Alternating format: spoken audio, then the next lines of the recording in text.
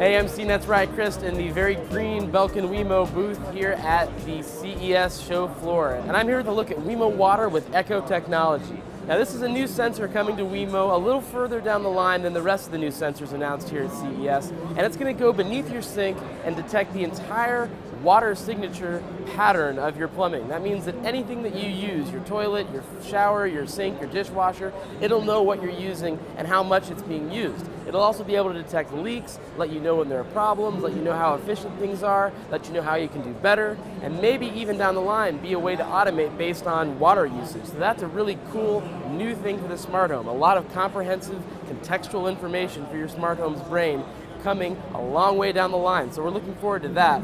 Once Wemo Water is out, Belkin also tells me that Wemo Power is up next, monitoring the entire power signature of your electrical appliances in the same way. Belkin tells me that we'll be out by the end of 2015, and they expect it to retail for a little bit more than the $50 or so that you'll pay for a typical Wemo gadget today. So here with Wemo Water with Echo Technology at the Belkin booth at CES, I'm CNET's Ry Crist.